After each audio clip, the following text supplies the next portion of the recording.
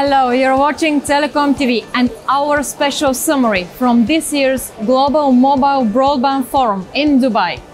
Under the slogan Bring 5.5G into reality, Huawei organized the event to gather around partners, operators, and industry leaders and to demonstrate the possibilities that can be unlocked with the next evolutionary step of the technology 5.5G, also known as 5G Advanced.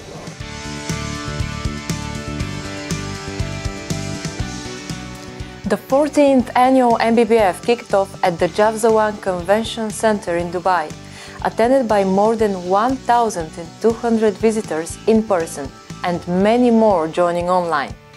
The forum was opened jointly by Huawei's rotating chairman, Ken Hu, and Director General of the GSMA, Mats Granryd.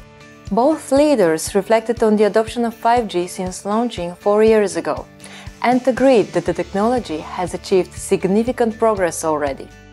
But, as it seems, there is a lot more to be done. We have lots, lots of work to do to enhance our capability, evolve the technology, create better user experience, scale up in industry, and also to maximize the value of our investment on 5G. So I think that's why we are working so hard today on the 5G advanced technology or the 5.5G. The need for innovation to meet increased data demands was also outlined by GSMA's Director General. With this huge amount of data, we see that we will spend as mobile operators roughly 1.5 trillion US dollars from now to 2030 on, and 90% of that is to 5G.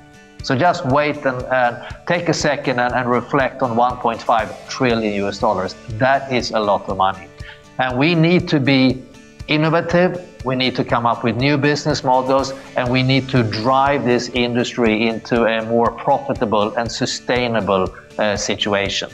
Alex Sinclair, Chief Technology Officer at the GSMA, was contagiously bullish about the current state of connectivity and what it is yet to unleash in the future. We really are living in the midst of the biggest technological revolution that the world has seen in quite some time. We had steam that propelled the first industrial revolution, electricity powered the second, automation and machinery engineered the third, and then connectivity and computing are now shaping the fourth.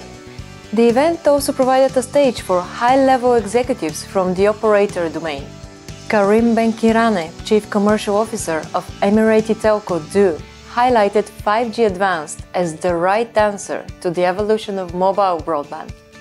Benkirane also pointed to fixed wireless access, also known as FWA, as a technology that can help operators gain some 5G returns. Another highlight from the forum was Huawei's launch of the industry's first full series solutions for 5.5G, presented by President of Wireless Solution, Cao Ming, to bring 5.5G into reality. Today, on behalf of Huawei, I will release the industry's first full scenario, full series solutions for 5.5G to bring 5.5G into reality.